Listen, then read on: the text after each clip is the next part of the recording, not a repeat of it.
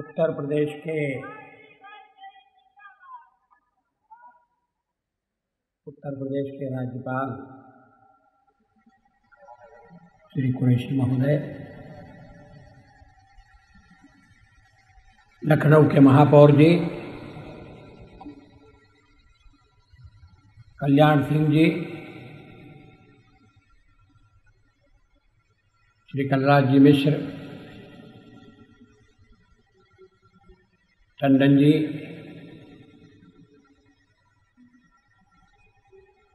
Nanak Chand ji, Lucknow corporation के सभी आदरणीय सदस्य सदस्याएँ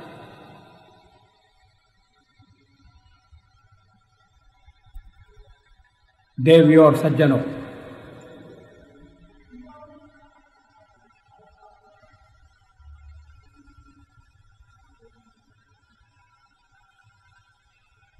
कोई अपने घर में मेहमान नहीं होता।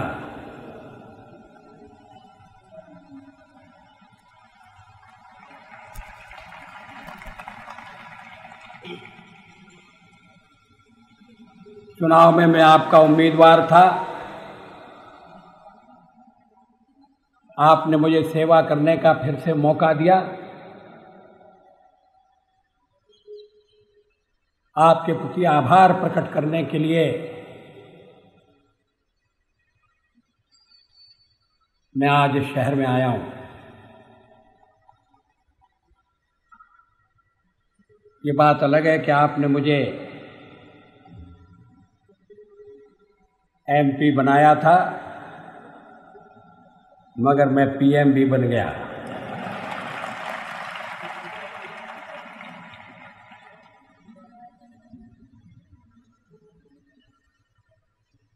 नामजदगी पर्चा दाखिल करते समय भी मैंने ये बात कही थी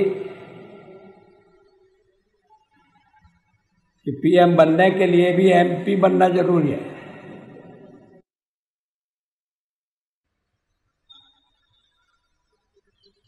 लखनऊ से मेरा बहुत पुराना नाता है।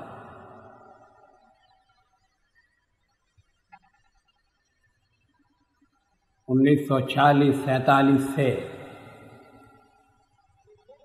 मैं लखनऊ से जुड़ा हुआ हूँ।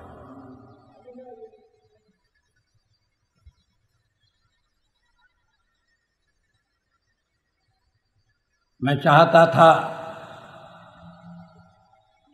उन पुरानी सड़कों पर, उन गलियों में। मैं आज फिर से जाता, वहाँ से निकलता।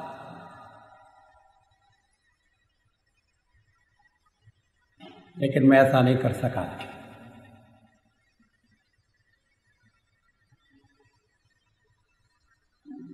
ये इस बात का भी प्रतीक है कि हमारा देश चुनौतियों का सामना कर रहा है और उन चुनौतियों पर हमें विजय पानी है।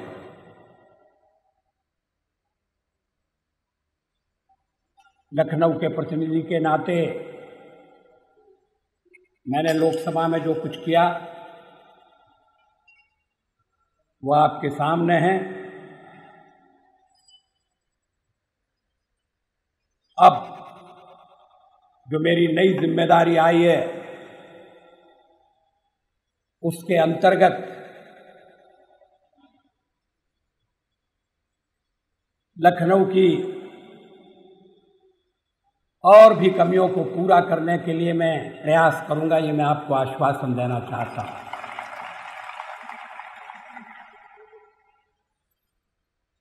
केवल लखनऊ नहीं सारा उत्तर प्रदेश सारा देश। लेकिन स्वाभाविक है कि लखनऊ के प्रति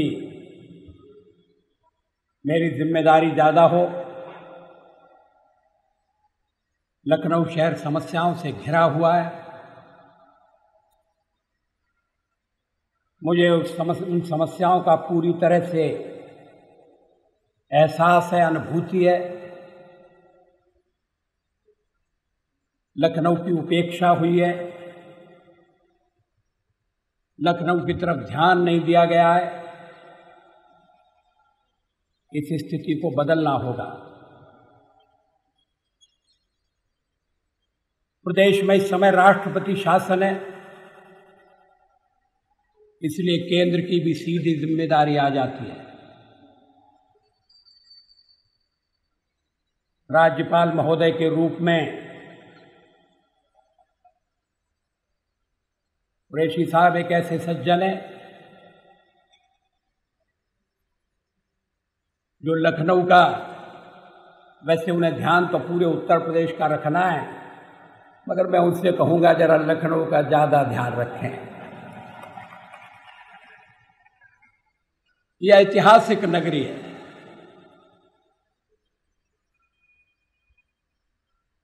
लखनऊ के साथ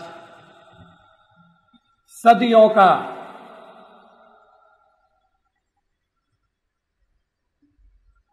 बीता हुआ जीवन जुड़ा हुआ है।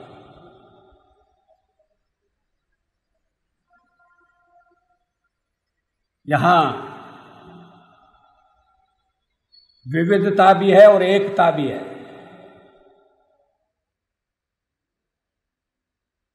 लखनऊ अपने तकल्लुफ के लिए जाना जाता है। आज तो कोई पहले आप पहले आप नहीं करता, वक्त इतना बदल गया है कि पहले मैं पहले मैं। लखनऊ की उस पुरानी तहजीब को वापस लाना होगा। पूरी ज़िंदगी में और खास तौर से राजनीति में सियासत में।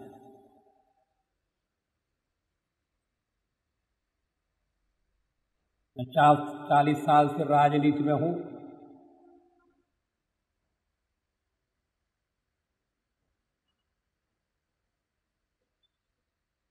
कुर्सी के लिए नहीं। पद की महत्वाकांक्षा से प्रेरित होकर नहीं। कर्तव्य की भावना से इस राष्ट्र के प्रति, मातृभूमि के प्रति उसके ऋण से हम ऋण हो सकें, इस भावना से प्रेरित होकर हम लोग काम करते रहे ये भावना कम नहीं होना चाहिए। सेवा की भावना, समर्पण की भावना सबको साथ लेकर चलने की भावना। बंधुता की, भाईचारे की भावना।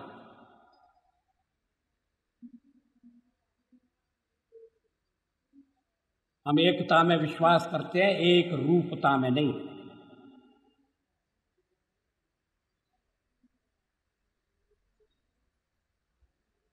और इस मामले में हमारा देश अनूठा है। अद्वितीय कोई हमें सेक्युलरवाद के पाठ पढ़ाए इसकी आवश्यकता नहीं है। सेक्युलरवाद हमारे रक्त के रंग में है। सेक्युलरवाद हमारी सांस सांस में है।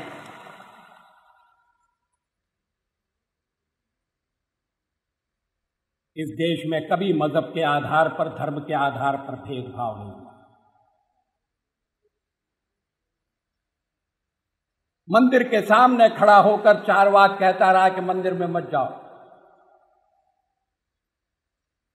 उसे सूली पर नहीं चढ़ाया गया, उसे, उसका उत्पीड़न नहीं हुआ। ये बात अलग है कि लोगों ने उसकी बात नहीं सुनी और लोग मंदिर में जाते रहे। मंदिर में जाने वालों की संख्या बढ़ती रही। ये देश कभी अधार्मिक नहीं हो सकता, धर्म विरोधी नहीं हो सकता।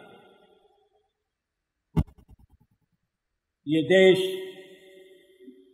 सर्वधर्म भाव के सब सर्वधर्म समभाव को लेकर चलता है। कश्मीर में इस विचारधारा को चुनौती दी जा रही है। राज्यपाल महोदय कश्मीर से आते हैं। मैं किसी रहस्य का उद्घाटन नहीं कर रहा।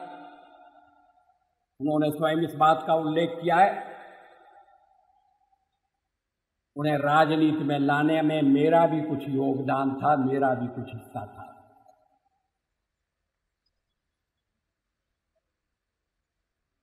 आज कश्मीर पर बुरी निगाहें पड़ रही हैं।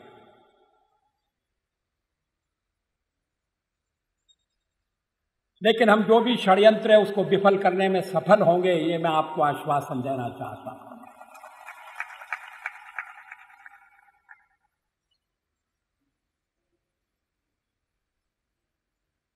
सारे देश में हमें ऐसी हवा बनानी है ये देश सबका है, सब इस देश के हैं।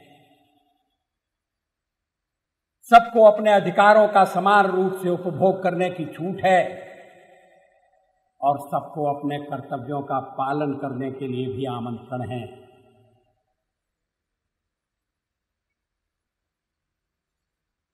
एक ताजी हवा देश में बहना चाहिए। एक स्वच्छ हवा। लोगों को लगना चाहिए कि सरकार उनकी है। सरकार कहीं दूर बैठी हुई। आदेश के बल पर चलने वाली नहीं। तो जनता के जीवन के साथ जुड़कर, उसकी कठिनाइयों को निराकरण करते हुए, लोगों में विश्वास पैदा करने वाली।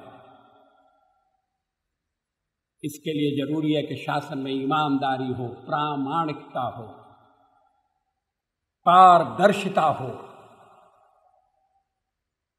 जिन पर ज़िम्मेदारी डाली गई है, वो बेदाग हों, निष्कलंक हों।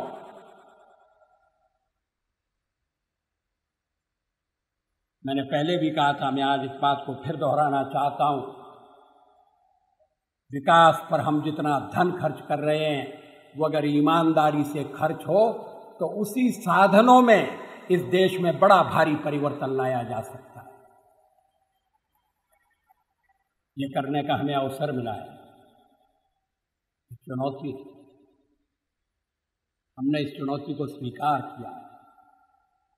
आपके भरोसे, देश की जनता के भरोसे। कहाँ तक सफल होते हैं ये तो भविष्य बताएगा। लेकिन हमारे प्रयासों में कोई कमी नहीं होगी। हम परिश्रम की पराकाष्ठा करेंगे। आज देश में सहयोग के वातावरण की ज़रूरत है। चुनाव समाप्त हो गए। मतदाताओं ने अपनी राय प्रकट कर दी। किसी पार्टी को स्पष्ट बहुमत नहीं मिला इसमें भी मतदाता एक संदेश दे रहा है। मिलकर काम करो, साथ काम करो। राष्ट्रीय सहमति के आधार पर काम करो। ये घटिया राजनीति से ऊपर उठकर काम करने का आवाहन है। मैंने प्रयास किया है कि मैं इसी तरह की राजनीति करूँ। मुझे इस तरह के संस्कार मिले और मुझे विश्वास है इस काम में लखनऊ वालों का, उत्तर प्रदेश की जनता का और पूरे देश के लोगों का भाइयों का, बहनों का समर्थन मिलेगा, सहयोग मिलेगा। आपने स्वागत समारोह का आयोजन करके केवल राज्यपाल महोदय के लिए उलझन पैदा नहीं की है, मेरे लिए तो और भी ज़्यादा उलझन पैदा कर दी है। इसीलिए मैंने कहा कि कोई अपने घर में मेहमान नहीं होता। और मान न मान में तेरा मेहमान। इसका तो सवाल ही पैदा नहीं होता। आपके स्नेह के लिए, आपके सहयोग के लिए मैं आभारी हूँ। महापौर महोदय को मैं धन्यवाद देता हूँ। कॉरपोरेशन के सभी सदस्यों को। उन्होंने मुझे एक चाबी सौंपी है। मैं उनसे पूछने वाला हूँ। इस चाबी से कौन सा ताला खुलेगा? लेकिन चाबी प्रतीकात्मक है। और उन्होंने मुझे चाबी देकर लखनऊ में कभी आने का जैसे एक अनुमति पत्र दे दिया है। लखनऊ के दरवाजे मेरे लिए कभी बंद नहीं होंगे। ये चाबी, ये इस बात का संकेत है। लखनऊ वालों के लिए मेरे दरवाजे कभी बंद नहीं होंगे, ये मेरा आश्वासन है।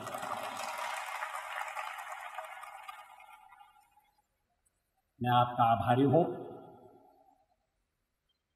एक बार फिर आपको हृदय से धन्यवाद देता हूँ और लखनऊ वालों को अपनी शुभकामनाएँ देता हूँ। नमस्कार, धन्यवाद।